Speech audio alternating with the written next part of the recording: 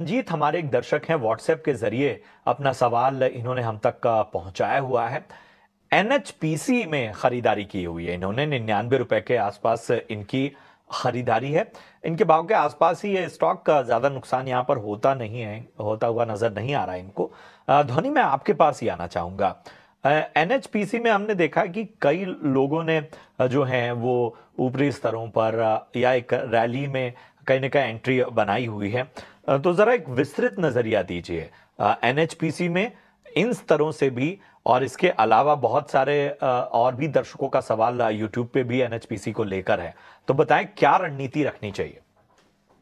बिल्कुल प्रशांत जी, यहाँ पे अगर मैं देखूँ तो स्टॉक में ज़्यादातर सबकी पोजीशन जो है वो स्टॉक ने जब यहाँ पे एक ब्रेकआउट दिया था जहाँ पे नब्बे के लेवल क्रॉस करे थे और फिर एक अपवर्ड रैली बनाई थी करीब, यहाँ पे आप देखें तो अर्ली दिस ईयर फेब्रवरी 2024 के अंदर और वहीं से काफ़ी लोगों का यहाँ पे जो है वो अपना निवेश इसके अंदर फंस चुका है बट यहाँ पे कोई भी चिंताजनक स्ट्रक्चरल ब्रेकडाउन जो कहते हैं वो नहीं देखने को मिल रहा है। स्टॉक एक रेंज में फंसा हुआ है जहाँ पे नीचे की तरफ़ हम नब्बे के लेवल जो है, वो एक अच्छे सपोर्ट की तरह काम कर रहे हैं और जब भी हमें एक स्विंग मूव इसके अंदर देखने को मिलता है तो स्टॉक अपना 120 122 का लेवल जो है, वो ऊपर की तरफ़ में दिखा रहा है। तो बने रहने की सलाह रहेगी।